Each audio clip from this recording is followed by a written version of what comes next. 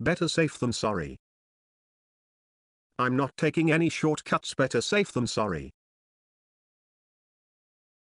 Need to talk to you. Can you come downstairs? Sure.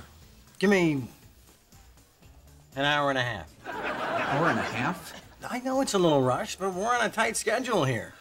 Tina's got homework, Cindy's got to meet her fiance, and Marie, well, Marie's on the clock. You already had two women in bed and you felt the need to call a professional?